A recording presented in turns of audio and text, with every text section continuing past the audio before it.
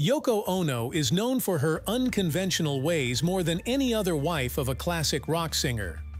George Harrison disclosed that during the Beatles' recording sessions, Yoko slept beneath a piano. George clarified that it was challenging to finish the mentioned album. Several of the songs on the album were inspired by Yoko, as John Lennon disclosed. In an Entertainment Weekly interview from 1987, George talked about how the White Album came to be. There was a lot of strain on the White Album, the Silent Beatle reflected. I had just returned from three months of intense meditation in the Himalayas, and I was feeling very well when we started it. However, he added, strange things of all kinds were beginning to happen. Yoko was sleeping under the piano throughout the recording of the album, which was a little weird because John and Yoko had just gotten together. George was questioned about the notion that the White Album was essentially a compilation of four solo albums. Yes, I did read that, he answered. It's partially accurate, but that's not the case for all of them. The White Album wasn't the only one. Mostly, it was John performing his song and we were supporting him. Sometimes, I would perform my song and they would support me.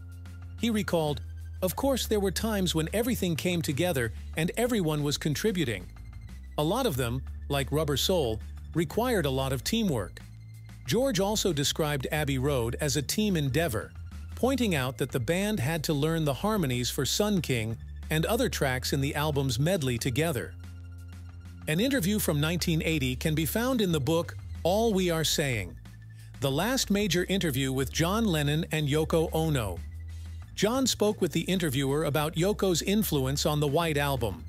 The song Everybody's Got Something to Hide Except Me and My Money was written by him during the White Album sessions because he believed that only Yoko and he were not paranoid.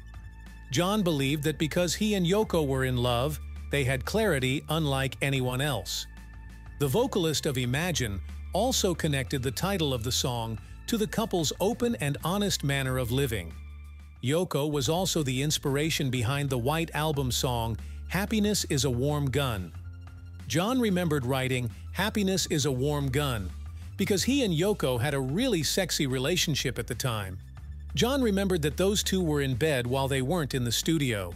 The Fab Four's White Album stands as one of their greatest albums ever, despite Yoko's peculiar sleeping patterns during the recording process.